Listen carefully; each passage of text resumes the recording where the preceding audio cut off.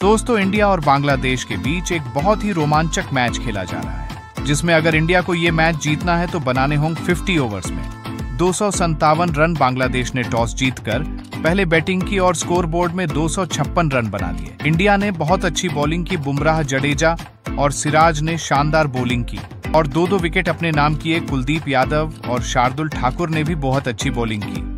और एक एक विकेट लिए बांग्लादेश की तरफ़ से तंजीम और लिटिन दास ने हाफ़ सेंचुरी लगाई और लास्ट में महमूदुल्ला ने बहुत अच्छा फिनिश किया।